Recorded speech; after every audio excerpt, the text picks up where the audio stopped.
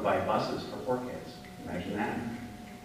Um, Why are these being ignored in favor of higher pay for everyone who works here? Parents unhappy at Tuesday's Oceanside School Board meeting as 3% raises were approved for teachers, administrators, and the superintendent. All those in favor, please say aye. Aye.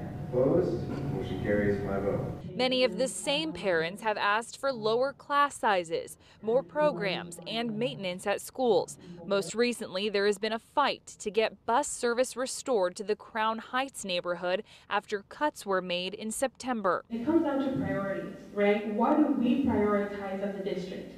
Do we prioritize our students or do we prioritize compensating people that are already paid way above what our youth and their families are making? Meanwhile, school board members defended their decision, voted on unanimously, saying the district needs to remain competitive with its compensation. We need to finance our teachers, our administrators, our classified school employees. If we want to move this district forward and have it be the destination district for everyone.